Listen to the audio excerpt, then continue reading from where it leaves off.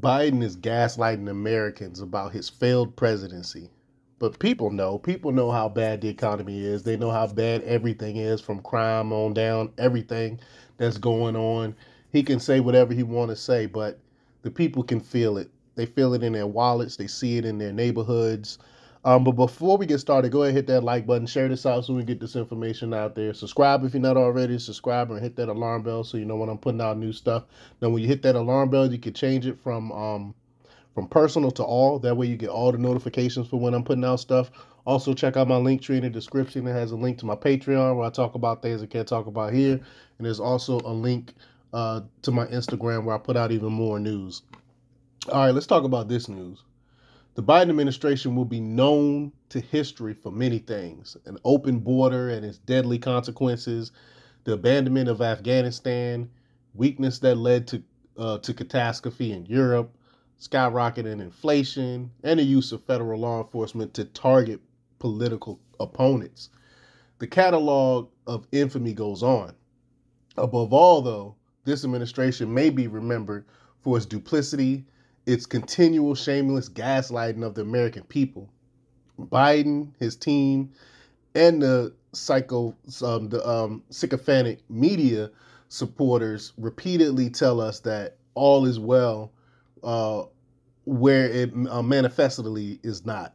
No matter how bad things become in the nation, no matter how many people suffer, reality has no purchase on the ideological bubble of this White House. This is why, in these midterm elections, the American people must deliver to Joe Biden an unequivocal message that they refuse to be gaslit and they are not buying what he is selling. Biden and his staff spin not um, not simply to be optimistic. They do so to cover up the often deadly consequences of their policy decisions. I mean, look at everything.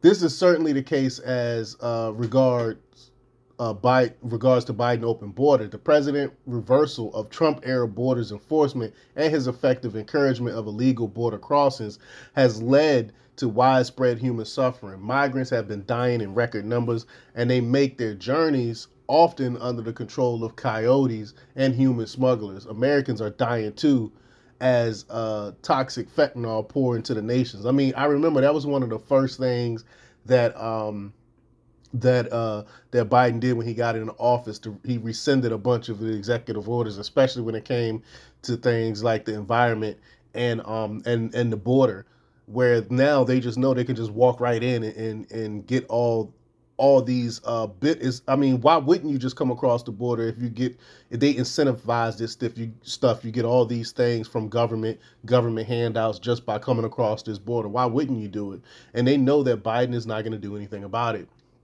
uh, former White House press secretary Jen Psaki insisted that the Biden border disaster was not a crisis, but rather a challenge. Vice President Kamala Harris has gone further, stating that the border, border is secure, and we all know that's not true.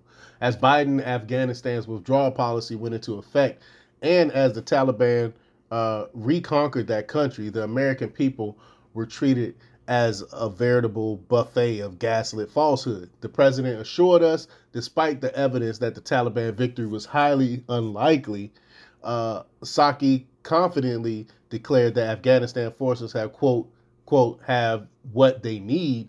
Spin of this sort did not stop the Taliban to prevent the deaths of 13 American service members or to save the lives of Afghan civilians. And still, when all that happened, no one got in trouble for this. No one was fired.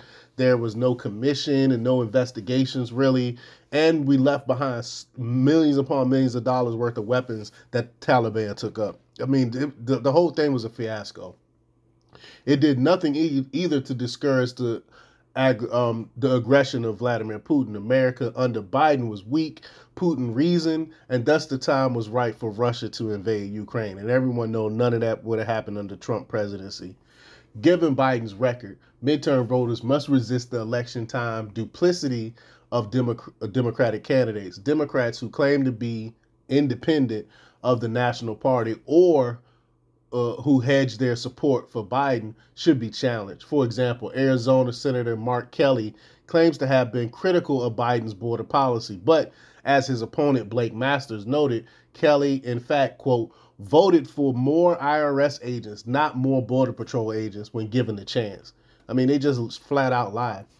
Then there is New York Governor Kathy Hochul's recent crime focused campaign ad. Hochul, the ad proclaims, wants, quote, a safer New York. But in her recent debate with Republican Lee Zeldin, a candidate committed to ending New York's cashless bail and other soft on crime Democratic policies, Hochul slipped and shared her real thoughts, wondering aloud why the issue was, quote, so important to her opponent. I mean, why? Because it's important to the people. I mean, uh, I, I keep that's why I keep saying these people live in a bubble. They live in a different world than normal Americans. That's why they don't think it's a big deal. In Pennsylvania, where debate continues over Democrat John Fetterman's health and fitness for office, one thing remains certain. Fetterman will double deal on the issues most important to voters about um, um after all, he was against fracking before he was for it. And he was, quote, for it now only because there is an election on the line. As for suggestions that his opponent, Dr. Uh, Dr. Mehmet, Mehmet Oz, himself flip flopped on fracking, Oz strongly denies the charge. I, really don't know, really, to be honest with you.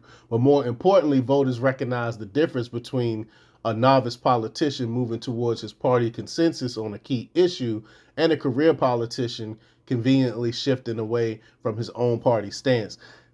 It is not difficult to guess how each man will vote uh, uh, should he reach the Senate. Again, I'm not really too sold on Oz, but he has to be a, a, at least a little bit better than Fetterman. Any Democrat claiming divergent from the national platform on the border, crime, fracking, or any other issues, and that, that woke culture and all that stuff is allowed to do so only for electoral advantage and usually only during election season. I mean, they just lie. When the crucial moments arrive, when the votes are most needed for the Biden agenda, they will finally be there. They vote for it every time. I mean, look at Manchin. Uh, for evidence, look no further than the most independent Democrat in Washington, West Virginia, Senator Joe Manchin, like I just I just said. After opposing Biden's Build Back Better bill, Manchin nonetheless caved to the president's extravagant spending with his vote for the Inflation Reduction Act, a law that would reduce nothing other than the solvency of the nation. And I talked about that on a previous video um, as well. In 2022, the notion of voting for the person, not the party, is a luxury voters can no longer afford. A vote to send a Democrat to Congress or to send a Democrat to a governor's mansion, or for that matter, to the state houses and state courts, is almost surely a vote for the president and his agenda. For America to begin changing course, midterm voters must see beyond the spin, listen beyond the gaslighting, and reject this president along with the candidates who support him. So, because a lot of these people, the Democrats, they are uh, uh, um, trying to distance distance themselves from um, from um, Biden because of election season. But we know who they really do vote for. Let me know what you think. Leave your comments down below. Like, share, and subscribe, and check out democrepublix.com for the latest in news. Until next time, peace. Oh,